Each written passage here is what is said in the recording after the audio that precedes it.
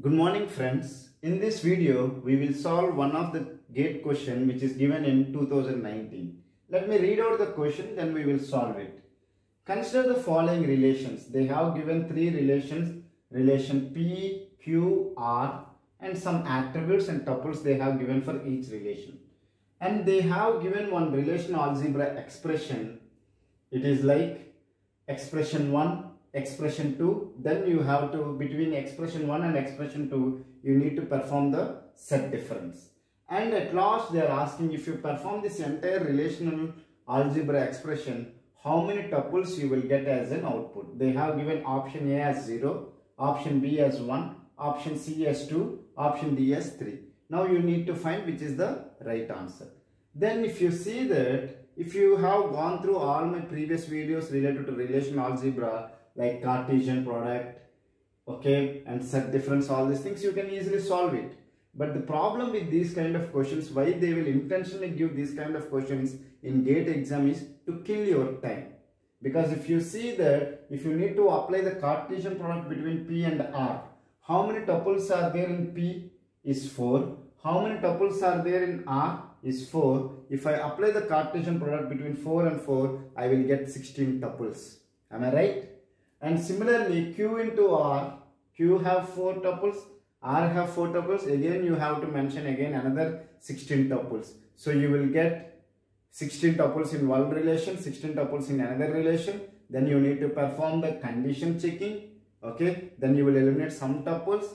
Then you will apply the set difference. It will waste your time a lot and even the rough sheets you will waste because you will hardly you will give one or two rough sheets if you solve for only one question for the entire rough shape, then where you will solve the remaining question. So that's why I have taken this question so that how you can solve it in a simple way.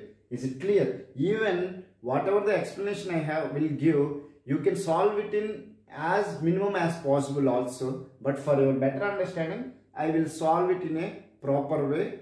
But I will not write all the 32 tuples. I will write few tuples. Even without writing those tuples also, you can do it but as people are new to this subject, so I will discuss in a proper way. So please be patient. And if you know how to solve without writing all those tuples, you can pause the video and you can solve it. If you solve it without any problem, I will be very happy. Okay. Now we will discuss this question. They have given, if you see that they are asking to perform the Cartesian product between P and R, they have given some condition and they are asking to perform the selection operator and they are asking you to perform the projection operator on attribute x. Similarly, they have given another expression. Between these two expressions, you need to perform the set difference.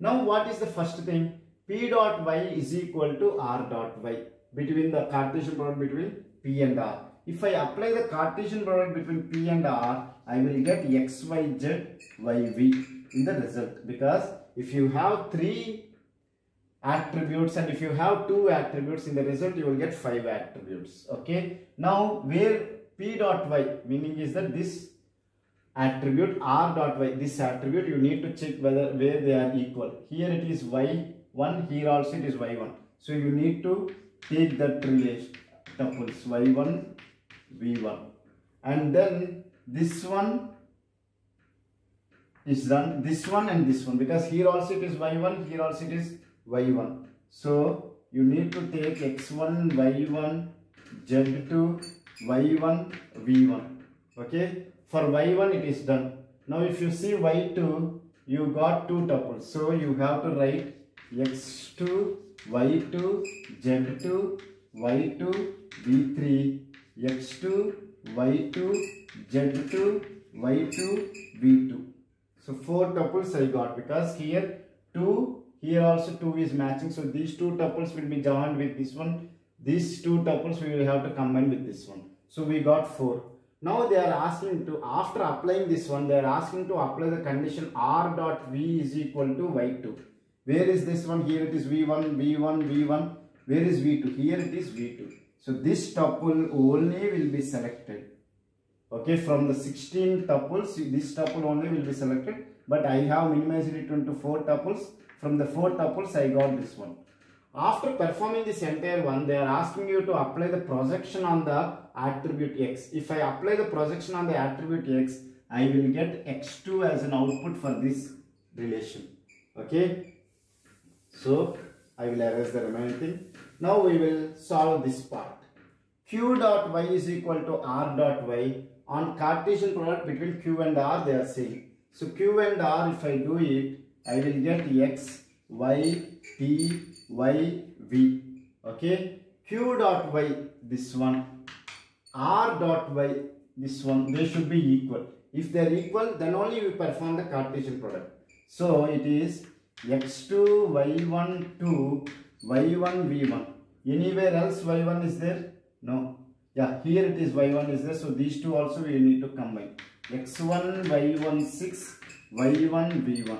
Okay. So with y1 combinations we are done. We will check y2.